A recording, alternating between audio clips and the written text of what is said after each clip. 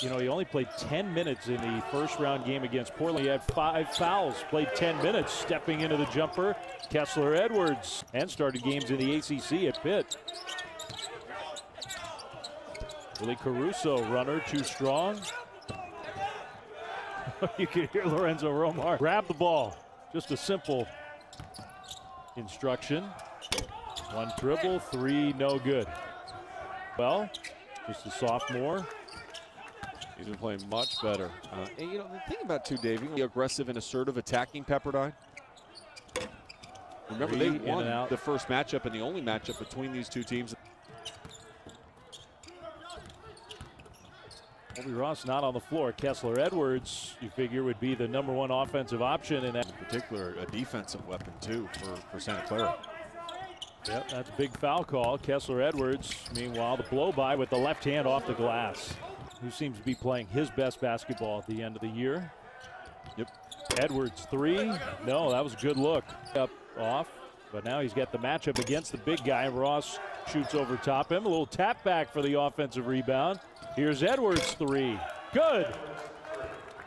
That was superb movement without the ball. Kessler Edwards To the basket. And Vrankic missed another one. players understand. Can you get to your spot and beat the defensive player there? If you can and you can elevate up, you're going to have a really high level of success. Is that pretty or what from Kessler Edwards? Although he fumbled the ball away, I thought he was about to dunk it home. Here's Edwards in transition. No. Williams will try from three.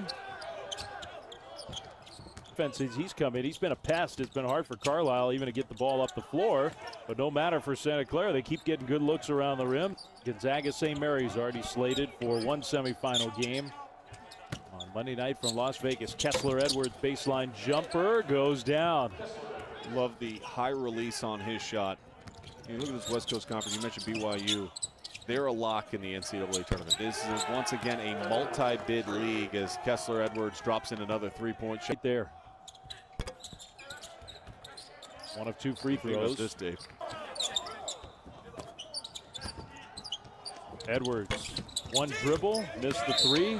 Polk though hustled. In and out. Long way to go in this one. Pepperdine, Zidek, three, in and out. And now Edwards goes over the back, commits the foul. Four-year starter. Had 24 monster game in the second round last night for Santa Clara. Edwards passed up the transition three to get that shot.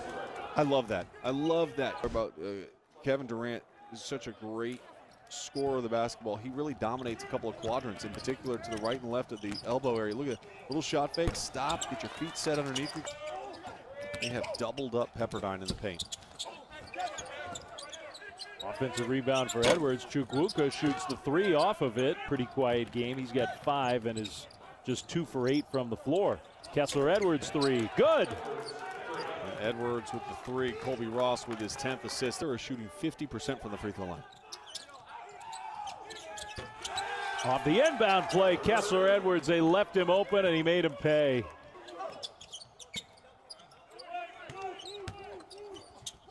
Edwards, he was making a move there. Williams came over with the help defense, got the block shot. No matter what you say about, it, hey, these are young kids in great shape, it, it does take a little bit of a toll. Vrankic fouled again. Good move against Kessler Edwards. Man, this team, they've got something to it. Uh, way short on that one. So still can't find the mark for him. Been a super frustrating game. Williams off to the side. Rebound Pepperdine, Kessler Edwards. And Santa Clara is going to back off and not foul. Pepperdine's going to advance to the semifinals and a matchup with the number two seed BYU 78 to 70, the final score.